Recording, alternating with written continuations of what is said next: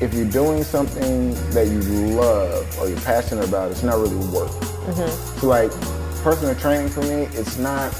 I don't even consider it work for the most part. Mm-hmm. I mean, it's hard. It, you know, it, it's uh, spending time writing plans, and Yeah. following up, but I get a joy out of people making accomplishments and people getting healthy and people losing weight. I mean, that makes me feel good as a person. It makes me feel like I'm doing something. Even though I might not, I'm not in the gym with you. I'm not making you eat your food. I'm not making you drink your water.